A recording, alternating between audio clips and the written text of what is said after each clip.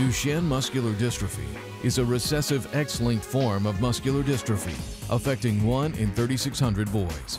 The disease results in muscle degeneration and eventual death. Duchenne's muscular dystrophy is a very, very severe, miserable disease. This disease is caused by genetic defect, therefore the diagnosis is very easy.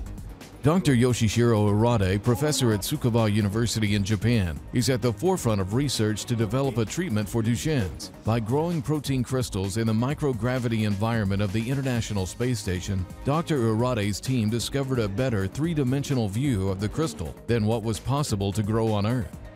Even if the size of the crystal is very small, we can get very important information by using the very strong X-ray. So that microgravity condition in International Space Station and also very big X-ray synchrotron facility. By using those techniques, we can uh, finally determine the tertiary structure, three-dimensional structure of the protein. Crystals grown in microgravity help scientists gain detailed knowledge of the three-dimensional structure of many important protein molecules used in research for cancer treatments, stroke prevention, and other diseases. Almost all cases, protein growing microgravity is high, higher resolution.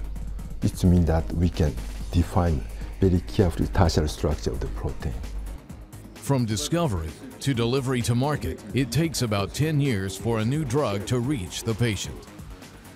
And now is, I believe my research step is almost uh, very near to the goal. Therefore, I hope two to three years later, we can distribute that drug to the patient. Make a drug, it takes time. But even though this, don't stop trying to make us drug. So you continue that research, this is the hope our families